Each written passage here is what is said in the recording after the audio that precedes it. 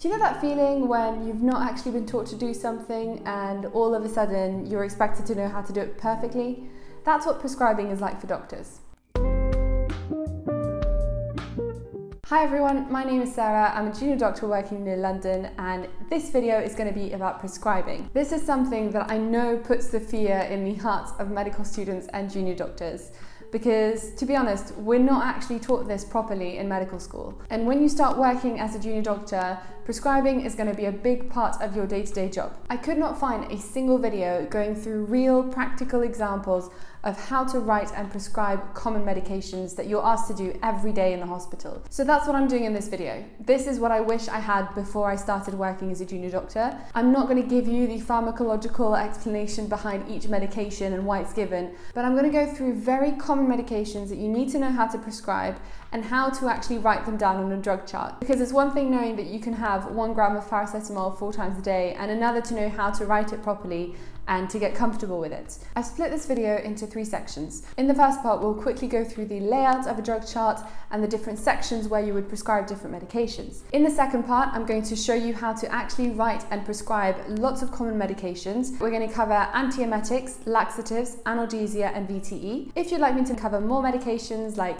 PRN insulin, fluids, replacing electrolytes and sedation, let me know in the comments down below and I will happily make it for you. Stick around to the end of the video because the last part is going to be all about very common mistakes that doctors make when prescribing and it's things that you really want to avoid. So without further ado, let's get started. Okay, so I hope the setup is clear enough. I've got a standard drug chart in front of me and we're going to fill it in step by step just so you know exactly what you need to do.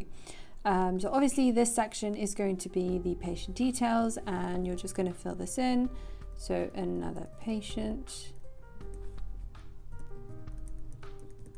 You always want to make sure that you put in the hospital number. So you'll have that here as well as the NHS number if you have it, the date of birth, whenever that patient was born, um, this part is less important, but it is helpful to know which uh, number chart it is because if there's multiple drug charts, if a patient's had a long admission, you want to know which one it is, so fill that in. And the date of admission, so we'll just say this date, um, whichever consultant they're under, which ward they're on, so we'll just put 14B, wherever that is um, and the date that you started the drug chart. I don't know why I'm picking these dates, but there we are. So that's the first section filled in. This is going to be filled in by the nurses. So if you know the weights, you make sure you put it on there because um, for some medication it's going to be based on weights. Um, then this section, very important, so the patient allergies, you want to make sure that you're always checking this and make sure that it's been filled in. We'll come back to this later. This section is for the pharmacist and this is where they document in a green pen if there's anything that needs reviewing or adding to the drug charts. So that's the first section done. If you turn the page, you will see on this side there's uh, some guidelines on VTE and we're going to come back to this later. And on this side, you do the risk assessment for VTE. This section is for once only medication. So essentially that means if there's a medication that you want to prescribe and give to the patient only once or you can use this if you want to give a stat dose immediately. So if there's a poorly patient, you can give a stat dose of antibiotics here. These two sections you can ignore and it's more for nursing staff to document. Now we get to the PRN or when required section. So this is any medication that's prescribed for the patient but that they don't take regularly. So on here you can have things like laxatives, antiemetics, and if the patient feels nauseous or starts to get constipated, then you can always use the medications that are prescribed described here. So you then have a whole section for insulin, which we will eventually go over. This part of the drug chart, as you can see, is for antibiotics. So this is where they'll be prescribed. And this is in particular for gentamicin because gentamicin is prescribed based on dose levels, which are measured 7 to 14 hours after the first dose is prescribed. And so you use a calculator and it's done in a specific way. So that's why it's a different section. Now we get to the regular part of the drug chart. So you've got all the regular medications that the patient takes. And finally, you've got the back section where you prescribe fluids and infusions. Okay, so I've just jumped to the regular section to show you how to prescribe laxatives.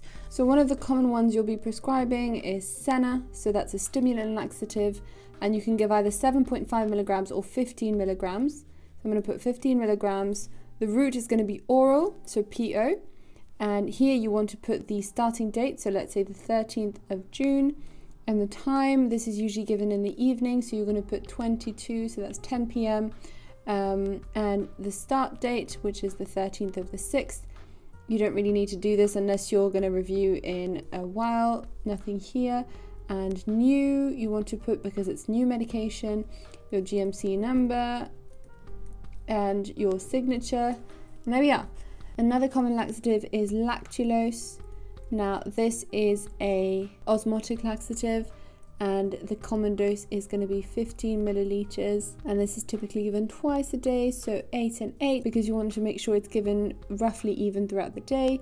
Um, again here you would fill in the same as above do your signature put the starting date new. Just to give you another osmotic laxative that's commonly prescribed you've got movicol and the dose is typically one sachet so the way you write a sachet is like this um, and you can give it up to three times a day. So either once a day, BD, or three times a day. So if it's three times a day, you would do 8, 16, and 22. So you even it out throughout the day.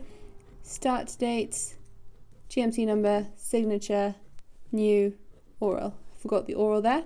So these are the common laxatives that you'll be prescribing. Just so you know, if you write these in the PRN section, it's going to be exactly the same. I'll show you one of them as the drug, the dose 15 milligrams, route PO, and then here you put once a day. So the only thing that changes is whereas in the regular you'll put the time and the dates, here you just put how frequently you would give it.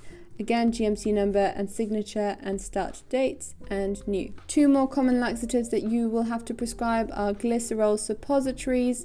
So this is when the patient is quite constipated and the regular laxatives aren't helping and this just goes in the PRN section.